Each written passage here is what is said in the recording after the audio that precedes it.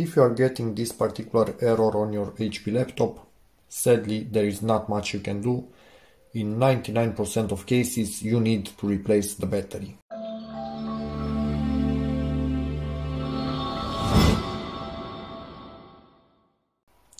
It has deteriorated beyond uh, the minimum capacity that the electronics in the battery actually accept maybe one of the cells in the battery is damaged or more of them. But at this particular moment without rebuilding the battery in a dedicated company that rebuilds batteries or buying a new battery there isn't much that you, you can do to revive the battery. Believe me i've tried many many times on many different laptops. Literally does not work. So uh, yeah, that's about it. Sadly, if you see that menu, it kind of means you need to either rebuild or fully replace the battery.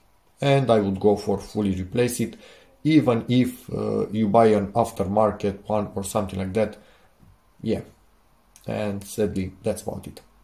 Hope this video clarifies uh, things up, in which case, please give it a like, check out my other videos, and as always, see you in the next one which hopefully gives more uh, cheerful news than this one. Bye.